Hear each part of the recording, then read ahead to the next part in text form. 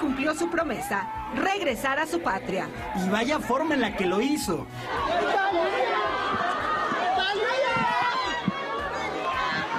Or not. That's what I was saying.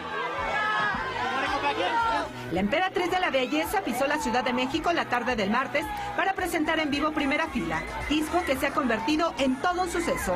Hasta el momento ha certificado doble platino y oro por más de 150 mil copias vendidas.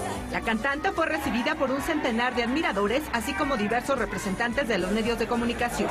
Todos querían tocar, ver y hablar con Thalía.